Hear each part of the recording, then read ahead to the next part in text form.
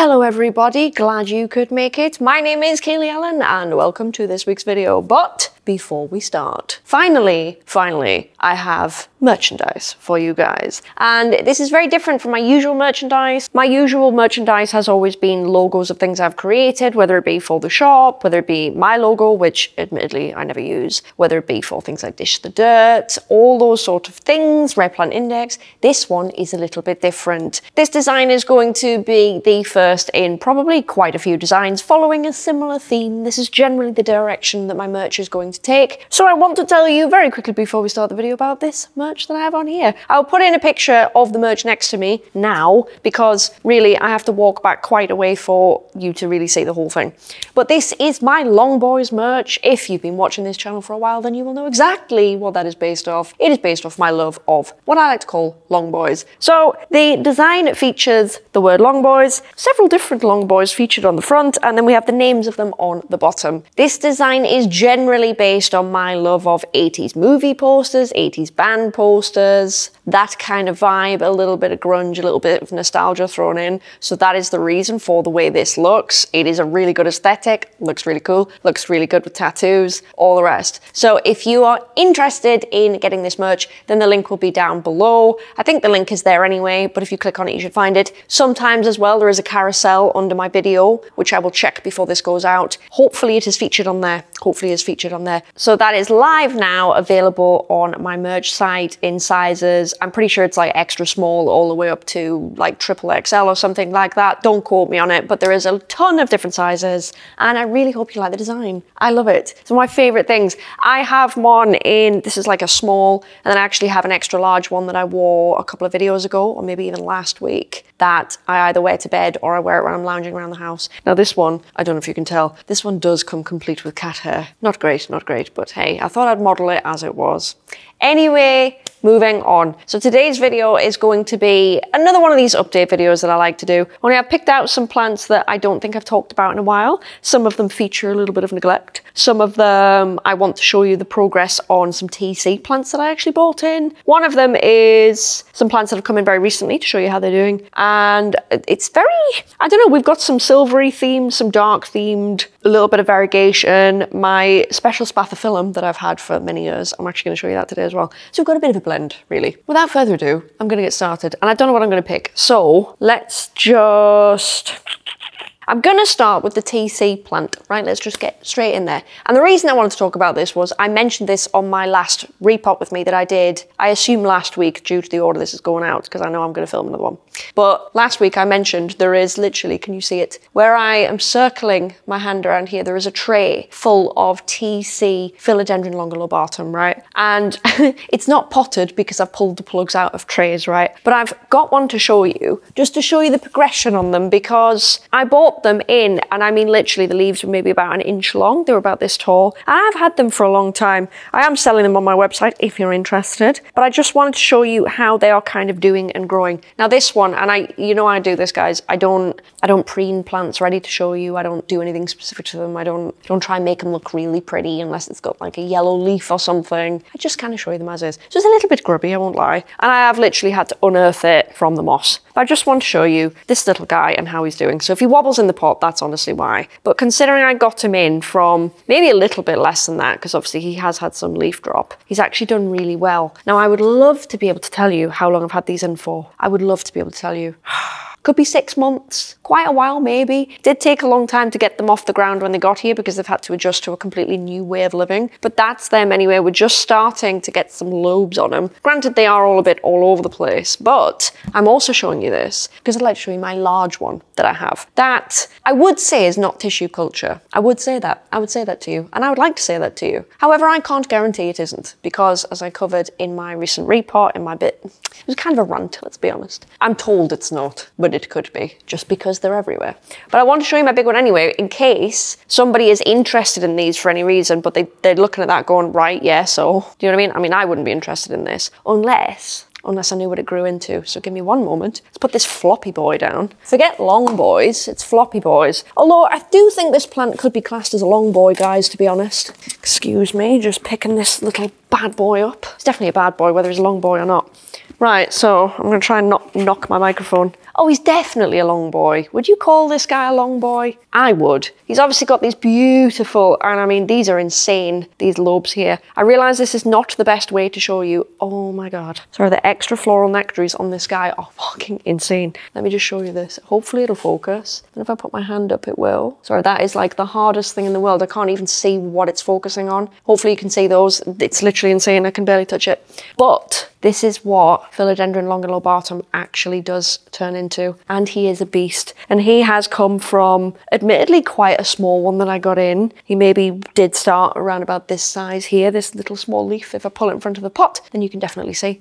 And he's got bigger. Now, he hasn't got bigger insanely fast, I wouldn't say. And that's probably down to my care. I wouldn't say that I've, the blonde hair stuck to the extra floral nectaries. Wonderful. I wouldn't say that I've tried overly hard to level him up, so to speak. He's actually been right in front of the wall. He's covered by a reasonable amount of foliage. That's probably why, if you see that he's grown a certain way, and he actually seems to have grown quite far out and quite far downward, he's actually just avoiding some of the bigger leaves. So that's why, obviously, he could move quite easily. But I just wanted to show you how cool this is and what it grows into. The petioles are very long. So if this is a plant for you, you think, then you need to make sure that you can deal with this. This is like not quite the length of my arm, but it's reasonable. I don't know how big this is. It could be like maybe 80 centimeters to the bottom and it's maybe could be as long as 50 centimeters. I think the the plant itself is as long as that, if that makes sense. But I think because it's not how do I put this? Because it's narrow and it's very airy, it's going to look long. Do you know what I mean? Does this make any sense? It's going to look long. A little bit like what a philodendron joepii can look when they're big. Because I have one upstairs. That's why you haven't seen it, because I can't pull it down. Um, they can look kind of the same. So if you're interested, it, you, you got to be in it for this, really. But I want to show you it because I, I don't feel like I've held this up for a long time, to be honest. And I saw him when I was tidying the other day and I thought, oh, isn't he cute? So I pop him down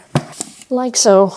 Oh my god, I've got, oh, can I get a little bit of blue roll? Not that it's probably going to do anything, is it? I've been extra floraled. It's not ideal. I've literally got gym stuff on as well. I was supposed to get changed. I went to the gym this morning and I lifted weights, but if the gym is cold, I don't actually sweat or anything. It's just a weird thing. I sweat doing cardio, but actually doing weights, I tend not to. Really tend not to. And I've got my entire gym outfit on, which is here. I've had to put my mic pack in here because I have no pockets in my gym outfit. I'm to work with it. Right, what next? Oh, I'm going to show you a cute little thing that I do. I do drag this out every so often. I do.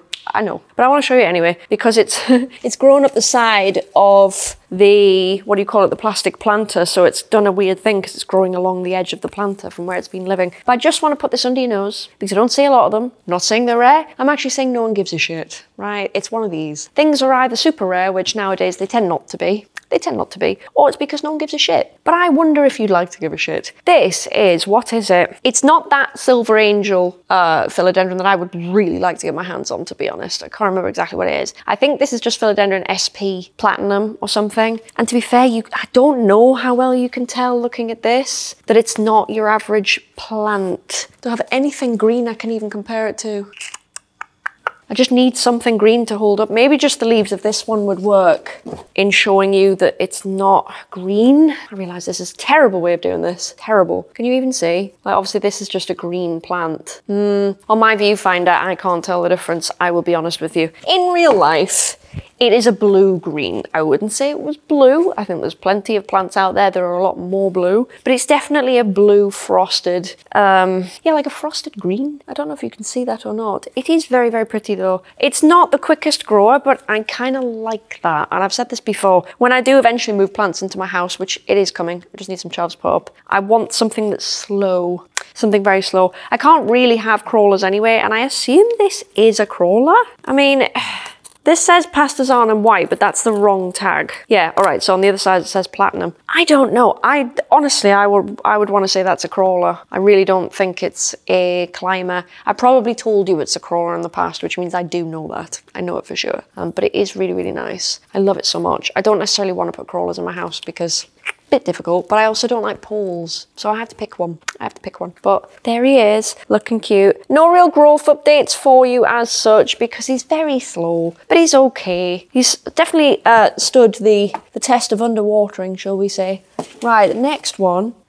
this next plant just sort of represents my neglect, but they have thrived on my neglect. So I've neglected quite a lot of, a full tray of, um, what do you call it? Philodendron Whipple Way brain. Wasn't going to let me have that at all. Philodendron Whipple Way. So I wanted to show you what has happened since I've neglected them, but then fed them, if you know what I'm saying. And I just want to say, right, I know this looks horrific. You don't have to tell me. I know you're probably watching this at home going, ew, what the fuck? I agree. It looks horrific because this is all the old growth that I've been getting. And then it's been chopped as well, which it did okay. There's a leaf here, and I've mentioned this before. A leaf I had probably, I mean, I don't even know when, if I'm honest, that just didn't quite unfurl, either to overcrowding or I think it was a lack of airflow at the time and it just, just wasn't unfurling. And if this happens to you, by the way, and oh, I'll show you while I talk, if this happens to you and your humidity is fine, it's probably airflow because if you think about a plant's leaf unfurling, say in like the wind, right? When it's unfurling, it does get to shake a little bit and it does help the leaf sort of unstick. So if that happens to you, that could be why. But I want to show you this just because it's sized up beautifully. Why is it facing this way?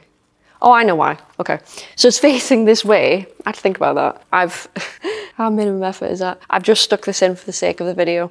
So it's facing this way, I think, because it's grown over another plant and it's sort of leaned on it and then it's grown up towards the light. So that's why. Obviously, it's not something that couldn't be corrected. But I wanted to take this opportunity while it's here, while it's large, to just, I don't know, just to just speak well of this plant because again, I love the colour change. I love the colour change. If you're sick of green, right, but you don't necessarily want variegates, this is a plant for you because you get, you get, what does it come through? This pinky colour, which I do hope comes off on camera. It is on the raw footage anyway. This is definitely pinky coming out. You see that? Oh, you can see that there. Beautiful pink leaf that comes out of it. That does sort of disappear if you look on the older ones. But we go from pink, then the pink here, because there is actually a little bit of pink here. It sort of blends into a minty green, and then we get more of a minty green. And when it hardens off, it does harden off more of a cooler frost colour. So if I just show you all the leaves in the camera frame, that is really nice. I oh, I love this plant, you know, I really do. I have a large one upstairs and it is, it's, it's too big. It needs the head cut off at minimum. It's a little bit much. It's on a pole, I think, but it's like over the top and it's sort of working out where it wants to go. So I need to do that. But generally speaking, I just want to just honestly just refresh how nice these plants are. Because I don't know I feel like people sometimes people only like things when they're like super super super rare. It's just sometimes I think people how do I put this without sounding mean? A lot of people go for it when it's rare and as soon as it's not they don't even like it anymore. But I think this is great. I don't even know how rare it is anymore I haven't checked I haven't sold it in a while I don't think it's super rare I think it is TC but I think even the TC costs a little bit of money but since we're on the subject of TC I don't know if this is TC or not I bought these as cuttings a long time ago. That does not mean they are not TC, guys. It does not mean that at all. It means they're probably from TC and then they're propagating the TC if someone else has bought in TC and then they're, you know, producing their own little friendly reminder. But yeah, that's him. I, he is gnarly because look, we've had some unfurling issues, but look at the back of him. Look how cool he is. Oh, such a sexy plant. Look at that. Ooh, girl. For me, it's the it's the color change. Absolutely adore that. Right. Um. Oh, this. I'm going to take no time at all on this one because it's literally just to tell you that I nearly killed them, but they're fine. So I showed these plants on a haul. Do you remember these? These beautiful spathiphyllum.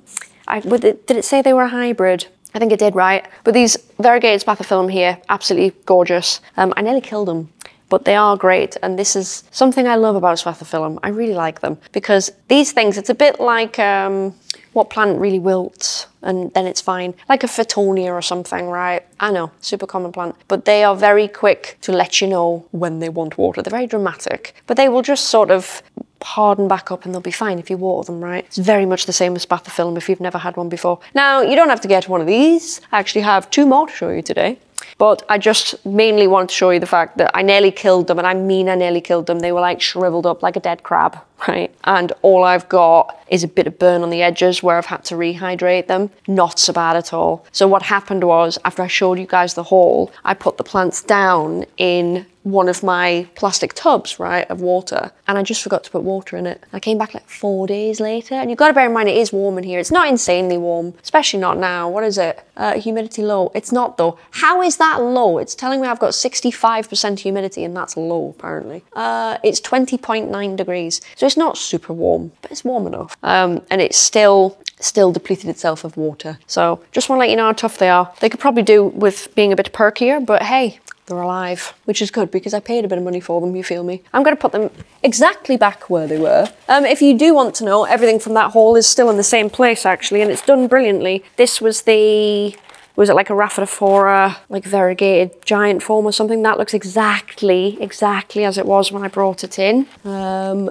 what else? Oh, the Congos. I'll just pick up one, you don't really need to see both. The Congos here, like that, absolutely perfect. And again, this is why they're in garden centres, guys. This is exactly why, because they're just tough. They're just tough. And I've said this before, I'll say it again. If you want a variegated plant, but you don't know what to go for, go for something that is already in a garden centre, but is variegated. So variegated spathiphyllum, a variegated Congo, something like that. No, I'm not trying to sell them to you. I have two Congo, two spathiphyllum, and they're not growing anywhere.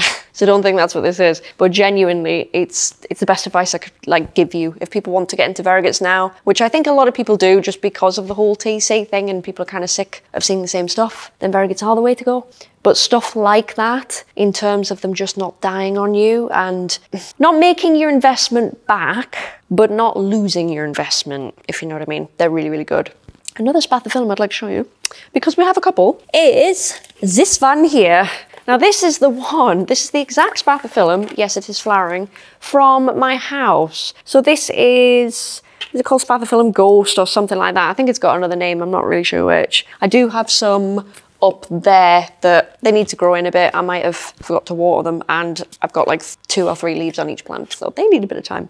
So I do have some of these, but they're not, I could do getting better ones in to be honest. But this guy here has come from my house because I had it in my house. It was going really well, but then I got the kittens and I'm pretty sure these are toxic to pets, so it hasn't gone back in. They, my pets do chew things, I'll be honest. Um, but it's mainly my calathea, nothing else. They, they've had a little gnaw on my Kentia palm here and there, but not really. It's definitely the calathea orbifolia that they, they really love to munch on. So by the time I next put that on camera for you at home, you're literally going to look and go, can you not take care of calathea? But it's literally, it just gets munched. And then once it's munched, it just like, it just goes like dry and Dorito-y. So it doesn't look the best. But anyway, this is why that was removed. But it's done okay. I've got pups galore, and that's probably why it looks a bit, there's a lot going on. There's a pup here, I think. There is, is it just one? Oh wait, no, there's two. Yeah, I've just lied to you. There's one pup. There's one pup and it still looks like that. It's probably trying to spread itself out for the light then. It's quite surprising really. It's not sized up as well as I would have liked, but I think that's probably due to coming here and it came here a little bit late and, and whatever have you. But it's happy enough to be flowering, although you could argue when plants flower, they're not entirely happy, right? Hence that if you want a plant to flower, uh, it's been like a, an old gardening sort of not a trick, but like piece of advice for years, right? If you want to have stuff flowering, then make it pot bound. So essentially it's unhappy, it wants to move, wants to move house, you know? Same thing for Ablica, piss it off. Just piss plants off. Do you know what I mean? Ablica with runners or stuff like this with flowers. Just make them unhappy and they probably flower. Give them, you know, food, but make them unhappy. So yeah, that's him anyway. I think that's Spathiphyllum ghost and it's got pollen all over itself. And I did have one of these that actually pollinated, but I think I didn't get to them and the flower died, which is a bit of a shame because I've never seen that on a Spathiphyllum. But I think they sort of worked with each other in the tray. It's a bit of a shame that. I'm gonna put that down. And is it my final plant or my next plant? I think it could be my final plant for today because I've tried to do like something a little bit different to what I usually pick up. My final plant today is a really awesome plant that I got in 2020 and I actually picked it out myself. I picked it out myself in Thailand, if you remember that, when I went over. I think I went over just before COVID hit and when I was coming back on the plane, they were like starting to close borders. So it was in March I went away. It was really touch and go, shall we say. But before that, obviously I was walking around nurseries and I did some stuff and I made some videos about it. But you might remember I picked up a variegated, what I thought was just a variegated spathiphyllum okay? And bless it, it's, it's it struggled with variegation. It wasn't a strong specimen. Hang on. I feel like I want to cough. Maybe it's talking about COVID.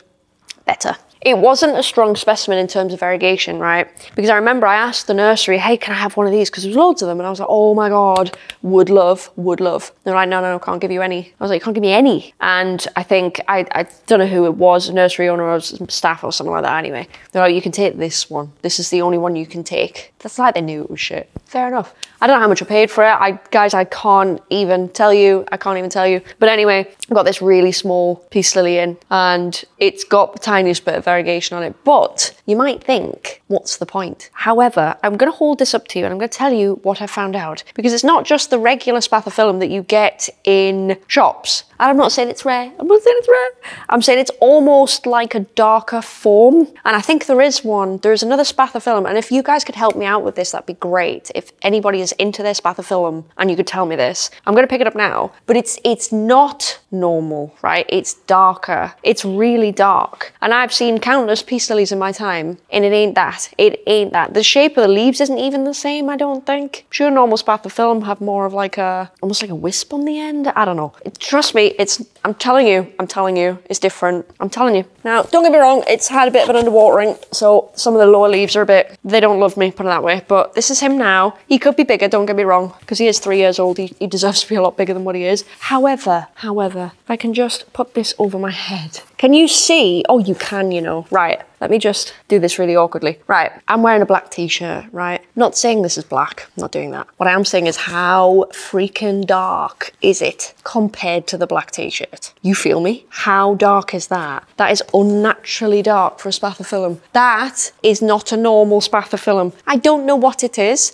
and I would love it if somebody could fire a name as to what it is, because I, I really like this plant a lot. And I do actually want to take this to my house, toxic or not toxic. Um, this is some of the old variegation, just to prove that it's the same plant. Um, you can't even see it in all the petioles now, I think. I was hoping it would pop, to be honest, and it's never really bothered to pop for me, which is really weird because all my other spathiphyllum do, no problem. But this guy's never really wanted to pop. But look how dark he is, man. That's really dark. Do you see what I mean? I wonder if I can tip him a little bit because he doesn't have water in. Can you see how dark that is? That's insane. In fact, he will, you know what? In memory of this, to commemorate him, he will be my thumbnail today. Just give me one moment while I get a thumbnail shot. Gotta be done, guys. Gotta be done. You, you know what? I can't get a nice shot without me looking stupid. Like, oh, please don't tip out, please. But yeah, tell me, tell me, tell me, spathiphyllum people, tell me what he is. I promise you, I promise you I'm not making this up. He is different. He is really, really dark. His leaves look different to me. So the differences I think there are, before we go today, the differences I think there are is his leaves are darker. We still have ridges. It's very, very matte. I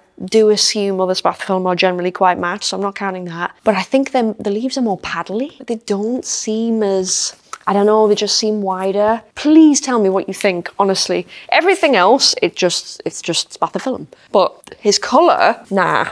You cannot tell me that that's a normal spathiphyllum. I would be so upset if you all just tell me that he's normal, because he's not. I really like that guy. I wish he would pop. I really wish he'd pop. And if I could find another variegated one of him, I would have him over the other spathiphyllum that are out in like all the garden centres and the tissue culture and stuff like that. Because I don't think that they are that. I haven't seen that before. So let me know. Let me know what you think. Anyway, I hope you enjoyed this little mini update. If you want my merch like this, I can't really do much other than walk back. If you'd like to see my merch, then feel free to click the link down below. Also, I do have a carousel and get yourselves one of these. I'm sure they will deliver well in time before Christmas if that's what you'd like. There will be more merch in the future. I just want to think about designs a little bit. I might discuss with my members what kind of things they would like and come up with it that way. So if you're interested in that, feel free to click the join button, which I think is near the subscribe button on my channel, which if you haven't already subscribed, what are you doing? What are you doing? What are you doing? But anyway, thank you very much for watching this week's video, guys, and I will see you in the next one. Bye.